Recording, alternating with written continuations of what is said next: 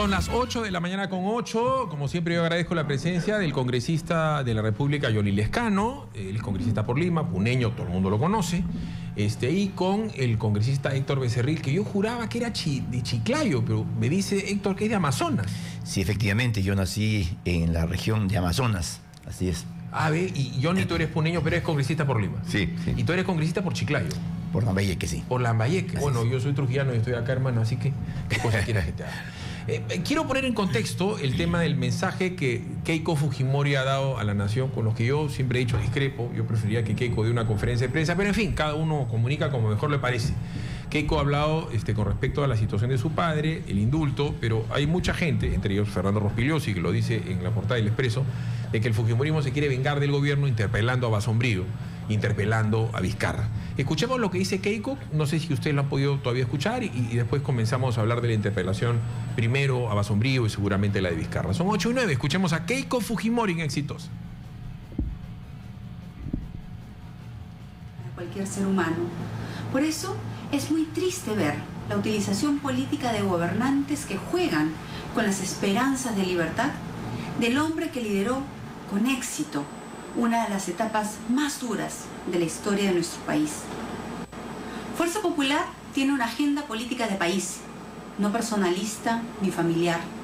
Soy la presidenta de un partido político con 72 congresistas y como siempre he sostenido, no se usará el poder político para favorecer a familiares. Por eso, la calculada presentación de un proyecto de ley presentado por un parlamentario electo por el partido de gobierno, que propone el arresto domiciliario para personas mayores de 75 años.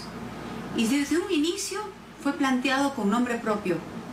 Llevó a los parlamentarios de Fuerza Popular a votar con dolor, pero también con responsabilidad, en contra. Nosotros no daremos leyes con nombre propio porque es inconstitucional. Algunos nos critican porque según ellos estamos impidiendo que personas de avanzada edad obtengan este beneficio. Precisemos, todos ellos podrían aplicar a un indulto presidencial. En este contexto, habiendo sido el propio presidente Kuczynski quien ha puesto en agenda la libertad de mi padre, es a él a quien le corresponde evaluar caso por caso y resolverlos con humanidad y sentido de justicia.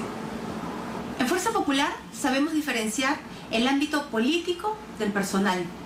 Por eso, como hija y amparada en la fuerza de mis convicciones, venimos construyendo el camino legal para demostrar que el juicio de mi padre fue un juicio político, con una sentencia prefabricada, en parte en el extranjero, recurriendo a sofismas legales. A la luz de los últimos hechos y que son de conocimiento público, se abre la oportunidad para la verdadera justicia. En este sentido, quiero informarles que he decidido presentar un recurso judicial, al que he denominado el habeas corpus de la libertad, que yo misma firmaré y que abre un nuevo camino para la libertad de mi padre. La próxima semana estaré presentando este documento. Alberto Fujimori no está solo. Nunca lo ha estado. Somos una gran mayoría de peruanos que queremos verlo libre, con la convicción de que se hará justicia, me despido de cada uno de ustedes. Son 8 y 12, está en la portada del Expreso, Roberto Vieira culpa a Keiko, y también hago mención de la portada de Exitosa, el diario del Perú, se acabó, no va el indulto. Eh, Johnny Lescano, ¿es una venganza del Fujimorismo interpelar a Basombrío como consecuencia de estas idas y vueltas por el indulto? ¿Cómo estás, Johnny Lescano? Buenos ¿Qué tal, Felipe? ¿Cómo estás? No, yo pienso que el asunto de la interpelación a Basombrío es una preocupación ciudadana, ¿no? Una preocupación porque hay violaciones en las comisarías a niños, porque la inseguridad obviamente sigue campeando en las calles, asaltan a restaurantes exclusivos, en lugares donde se supone que hay vigilancia, que hay seguridad. Hay una, una, una permisibilidad. Había ah. asaltachifas y el distrito con chifas más asaltados era San Martín de Porres. Ya era ranking de asaltachifas. Bueno, pero hay, inseguridad, ¿no es cierto? Y siguen los asaltos, y siguen los sicarios, y siguen los problemas. En tercer lugar, el asunto del terrorismo porque hay una, se ha estado permitiendo impunemente la apología de terroristas que están sentenciados. De tal manera que nadie en su sano juicio puede decir, oiga, aquí hay simplemente un interés eh, de carácter político, sino hay una realidad que el ministro tiene que responder. Hay disposiciones, por ejemplo, que dicen, oiga, vayan a cuidar las farmacias privadas, cadenas de farmacias que tienen plata para contratar personal de seguridad, pero eh, eh, los jefes policiales dicen, vayan a cuidar acá, a estas farmacias, en tales direcciones, y los ciudadanos no tienen policías en las calles que los cuiden. De tal manera que yo creo que hay suficiente justificación para la interpelación del señor Basombío, tiene que ir a contestar preguntas, la interpelación es preguntar y el ministro contesta. De tal manera que no hay ninguna coyuntura que yo objetivamente vea que hay una venganza, que hay una, intención. No sé, aquí este Héctor dirá si le tienen ojeriza o no al ministro, ¿no? si están en contra de él simplemente por razones ideológicas o no. Ya las interioridades del Fujimorismo yo no los conozco, ¿no? Yo ni me voy a lanzar al Congreso y tengo que quitar la chamba. Tú me estás arruchando públicamente, así que conteste el nuevo conductor de instituto, señor Becerril. Gracias, Billy. Eh, en primer lugar, yo quisiera que me permitas eh, expresar mi más profundo y enérgico rechazo a la forma como se ha venido eh, manoseando el nombre de Alberto Fujimori. y quiero decir claramente que considero que Roberto Vieira el mercenario de este gobierno que está jugando en pared con el gobierno y con algunos congresistas para querer dividir al Fujimorismo. De otra manera no se entiende las declaraciones del mismo Vieira y de Carlos Bruz cuando manifiestan que el Fujimorismo está dejando morir a Alberto Fujimori en prisión. Eso es de una maldad muy insana. Incluso el comercio, una vez más, ayer manda un tuit político donde dice que Kenji habría declarado de que Alberto Fujimori ha recaído en su enfermedad producto de que se rechazó a Ley Vieira.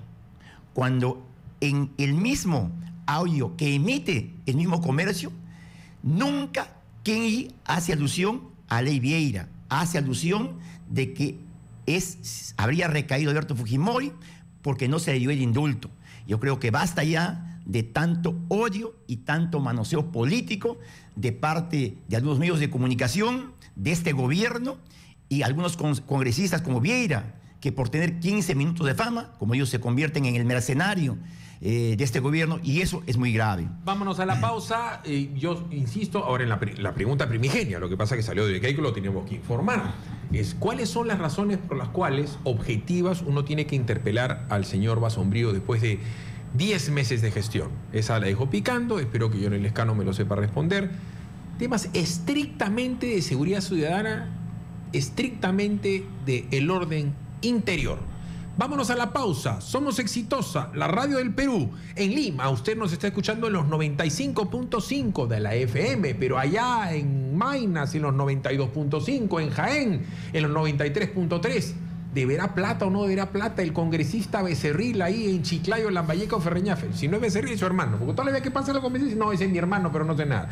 Johnny Lescano, en Puno, 107.1 todos tus hijos firmados en Puno. Totalmente. No hay varios no, ahí, ¿no? Porque en Juliaca nos está escuchando también, ¿eh? por si acaso. En Juliaca, en San Román, nos está escuchando los 89 puntos. ¿En Azángaro tienes hijos, Johnny? Tengo familia, pero no tengo hijos. No hijos, ¿estás seguro? Ah? Familia, hay uno de los hermanos de mi madre. Ah, en Azángaro te están escuchando los 101.5 la FM. Con los hijos no le pregunto a Becerril porque decir no son míos, son de mi hermano. Toda la vida el hermano tiene la culpa. Vamos a regresamos. Continuamos con Philip Butters en Exitosa.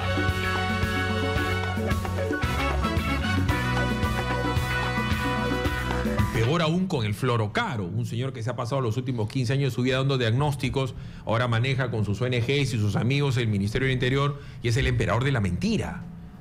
O sea, miente con el escuadrón de la muerte, miente con el pirómeno del Arcomar por el cual, por el cual pide, pide este, recompensa. A Edu Saetones no pidieron recompensa, ¿no? Con la plata de todo el Perú. Arriera no piden recompensa con la plata del todo el Perú, pero un pobre señor, que era un, que era un señor que pintaba mesas, ahí sí pidió para el Arcomar. Y una algarada en Ate con dos muertos, Johnny Lescano Becerril, y dice que era un complot cibernético. Después denuncia una mafia de entrenadores de sicarios con FAP policía y no pasa nada. Violan niños en una comisaría en el interior del Perú, en una comisaría que es de la Policía Nacional del Perú, y no, no se lo mencionan en sus medios amigos. Entonces, Pasombrío es el emperador de la mentira. Y a lo último es que él sigue al dedillo a todo Sendero Luminoso y a la gente del movimiento, que es un movimiento de pacotilla. Tan lo sigue al dedillo que se meten en una manifestación de la CGTP, hacen lo que se les da la gana y a la semana sigue al dedillo a las mamás que pugnan con razón o sin razón por la legalización de la marihuana y les mete gas lacrimógeno. Entonces, esa es mi opinión, ¿por qué lo deben votar? ¿Qué opina Johnny Lescano? ¿La gota que ha derramado el vaso ha sido lo del Movadef? Bueno, yo creo que todo lo que has dicho y lo que has referido se puede preguntar en la interpelación. La interpelación eh, no es ninguna ofensa a un ministro, es un mecanismo de fiscalización que tiene el Congreso para tocar temas de interés nacional y la seguridad pública de los peruanos es un tema de seguridad nacional. Entonces, hay que preguntarle al ministro qué ha pasado en esos casos para que nos dé respuestas coherentes. Nosotros en Acción Popular siempre escuchamos primero para tomar una decisión después.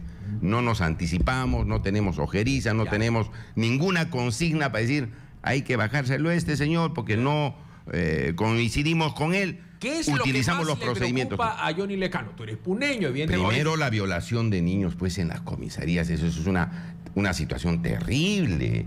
Que hayan violado 150 niños en las comisarías y no se haya tomado ninguna determinación. Este ministro no está algunas semanas, algunos meses, ya más o menos ya va a cumplir un año, un poco más. Entonces, de, de, tal manera que eso a mí me parece terrible, que las mismas personas que te, a ti te dan seguridad estén violando a niños. Yo te pregunto, Segundo, con el odio anticatólico que hay, ¿tú has visto las mismas portadas para con el sodalicium que con esto? No. Hay una agenda. O sea, tú te, yo te pregunto, ah, yo digo nombres, ¿ah?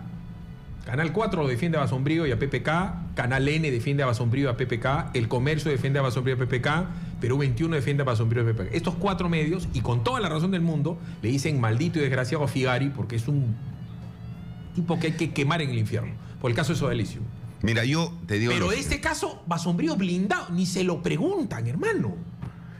En la prensa, la prensa en el Perú no casi nunca es objetiva, responde a determinados intereses. Hay cosas que debían publicitar y nunca publicitan, porque de por medio, por ejemplo, está el poder económico o el poder político.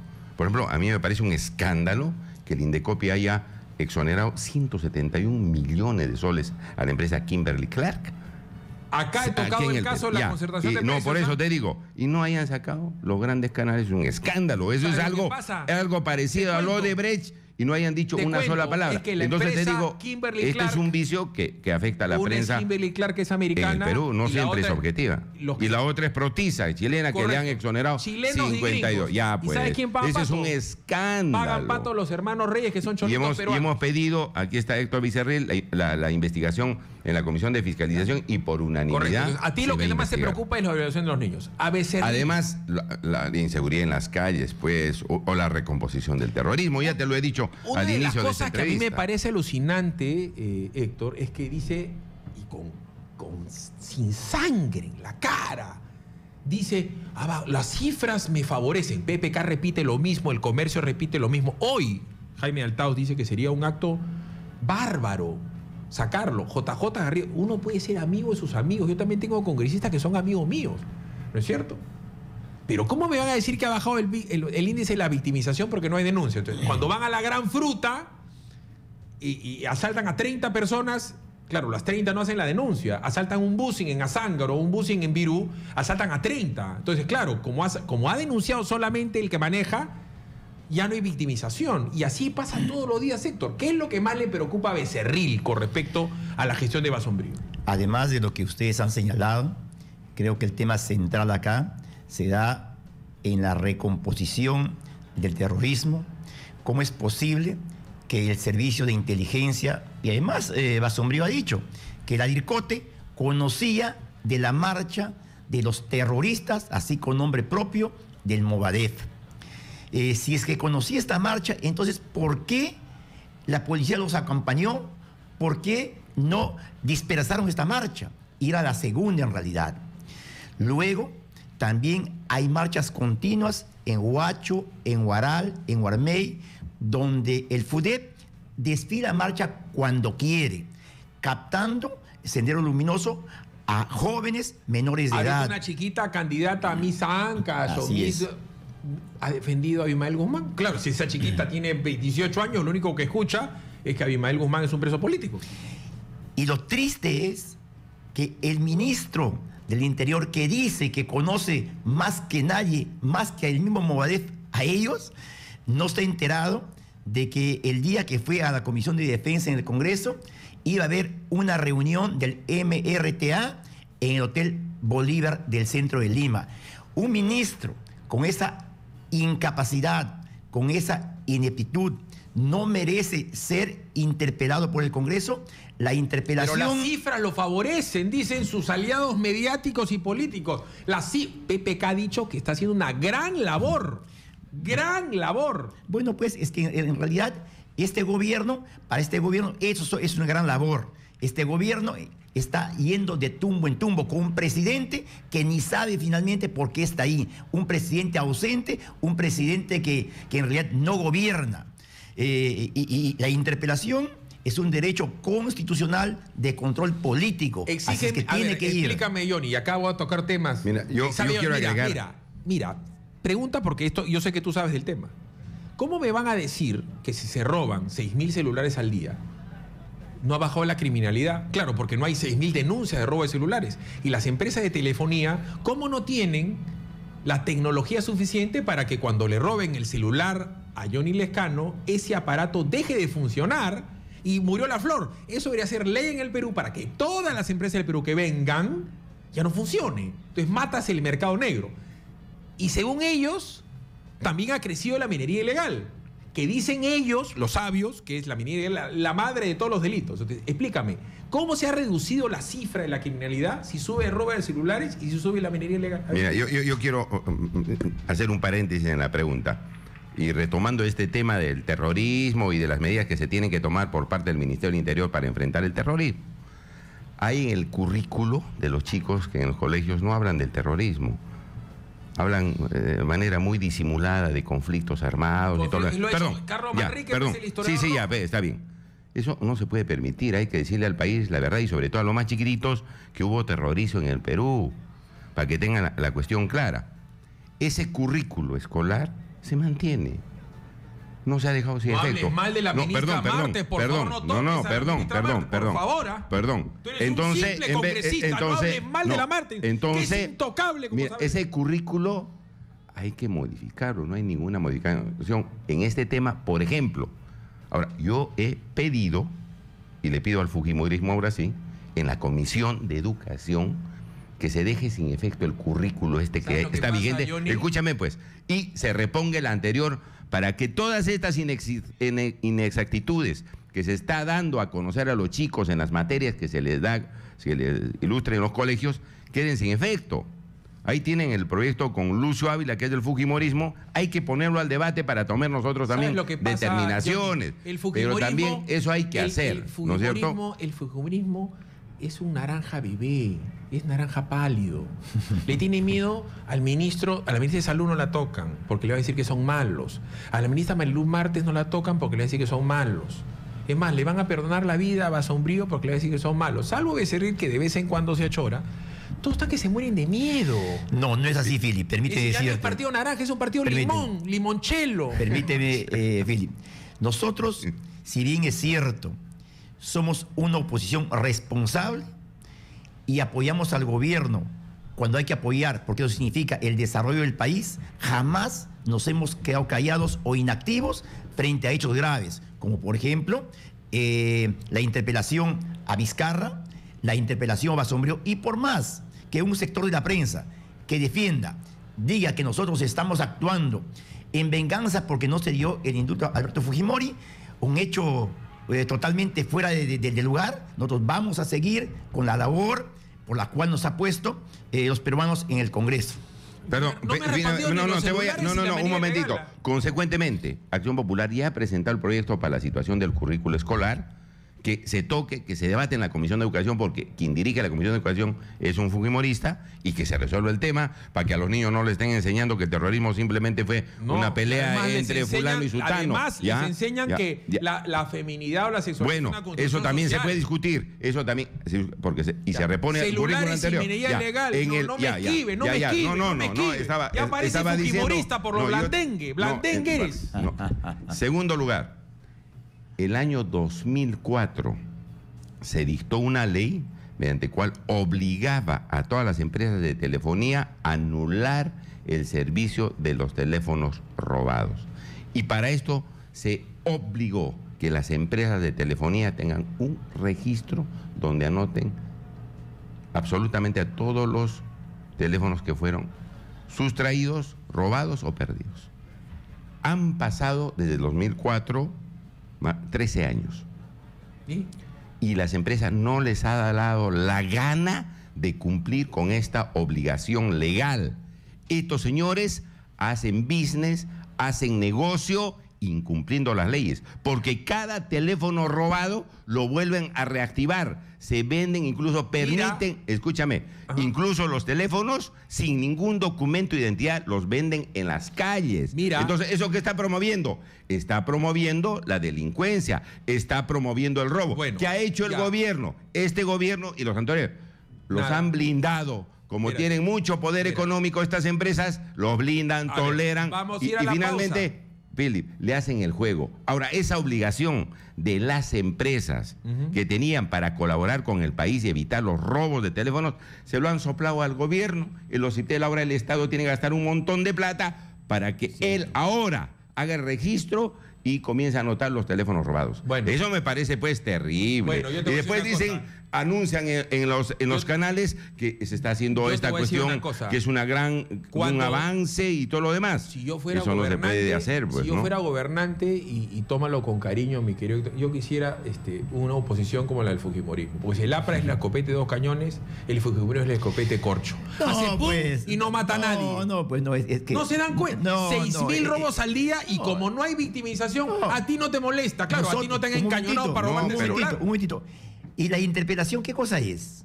No es llamar al ministro a que dé cuenta de sus acciones y luego, obviamente, y, y obviamente después de escucharlo, se tomarán decisiones. Yo pregunto, eh, hablando de celulares, este gobierno no ha podido, no puede ni siquiera poner bloqueadores en los penales y va a poder actuar contra los celulares donde hay en realidad intereses económicos. Este gobierno no hace nada, pues lamentablemente. Serán cinco años perdidos por un gobierno incapaz y con un presidente que no gobierna. 8 y 33, pausa, regresamos. Estamos hablando de seguridad o inseguridad ciudadana. Vas al chifa, te asaltan. Vas a la pollería, te asaltan. Pero según el ministro ha bajado la victimización. Te roban un celular y te lo reactivan.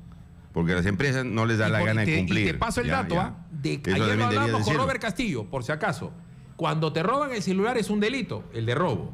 Cuando viene otro y agarra ese, ese, ese, ese, celular robado y lo comercializa, ese pate es un colaborador, es un reduccionista, es, es un colaborador de la banda. Y cuando alguien lo compra, es el Ya. delito de Y- y- receptación. y resulta Es decir, más- De cada celular robado hay tres escúchame, delitos. pues, y es más risible cuando hacen operativos en esos kiosquitos de las Malvinas, ahí, pretendiendo resolver el gran problema que ¿quién tiene que resolver? Las empresas.